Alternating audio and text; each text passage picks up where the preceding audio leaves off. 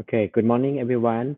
Welcome to Artificial Intelligence Application course for the last module, module number 10, AI Ethics. Uh, for today, we're gonna learning about uh, definition and algorithm fairness, algorithm bias, machine ethics, uh, mor- morally competent for AI application. For the definition of AI ethics, AI ethics is a term that's given to a broad collection of considerations for responsible AI and combine safety, security, human concern, and environment consideration. For algorithm fairness is the topic of enforcing fairness has become important in particular in machine learning. Why we need to care the algorithm fairness uh, and what kind of unfairness could there be and what cause unfairness and what concept of fairness are there. Why we need to care about the AI fairness? Many things become automated by machine learning, right? And the employer select candidate by using machine learning system. LinkedIn uh, think using the machine learning system to rank candidate. Bank use uh, credit rating system with use machine learning. Amazon and Netflix use recommender system for recommend some movie or some good or service to customer. For face recognition in the Google photo, apply in the Google photo and maybe some mistake with uh, misclassify the black people. Why we need to care about AI ethics? Uh, searching query in the Xing order let qualified male candidate higher than more than qualified uh, female candidate. The Xing like uh, Google uh, Google searching, but implement in the Chinese. For algorithm bias of AI ethics, the bias means that the dataset doesn't reflect the main population. The fairness, the training dataset is based on historical data which reflect unfair practice.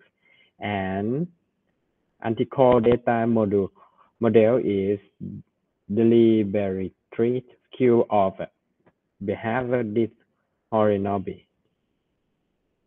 and how to avoid the bias of AI. Uh, the first is uh, background diversity, avoiding groups that think, and the mindset diversity, personality testing, and the data diversity, try different sources, and algorithm diversity, compare the model.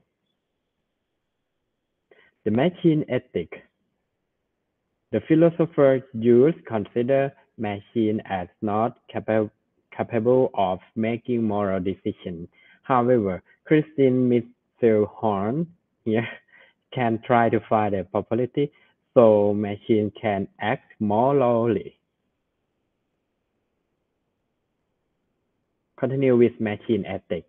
Uh, machine need to have the at least belief about the rule, uh, pro attitude, intention, moral knowledge, the possibility to compute that consequent action can we have? For the example is self-driving car. The self-driving car will be come into the situation where they have to choose between bad alternatives. Uh, example that killing passenger or killing uh, pedestrian. AI has much faster uh, AI have much faster reactivity. A car might be able to make decisions that a human cannot at all. Ordinary people think AI should do in such moral dilemma situation. Look at this situation. Uh, if we have the uh, self-driving car here and three people in the car and three people in the road, how AI decision. The first decision is go to go to uh, hitting the people and save person in the car. The second decision is try to uh, hit the barrier and the AI can save the president or the human in the uh, road, but the people in the drive were maybe dead or dead. And how how should the AI do for this situation? Ah, so this is like the concept of the trolley problem. A moral dilemma is used to uncover ethical reasoning performed by people. Uh, for if you have five people that in the uh, the level of uh, train loss. And one people here how AI decision to turn by uh, actively curing somebody you can save five people. If the if AI should killing one it can save five people